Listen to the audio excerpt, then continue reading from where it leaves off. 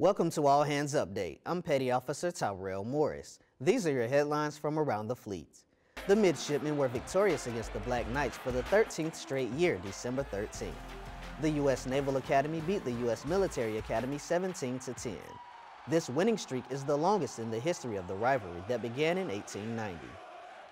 Tests on the Ghost Swimmer Unmanned Underwater Vehicle, or UUV, were completed December 11th at Joint Expeditionary Base Little Creek, Fort Story.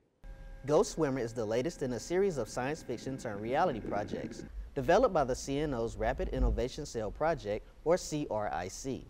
This project, Silent Nemo, is an experiment that explores uses of unmanned underwater vehicles that mimic sea life for the fleet. For more information about the project, visit the CRIC Facebook page.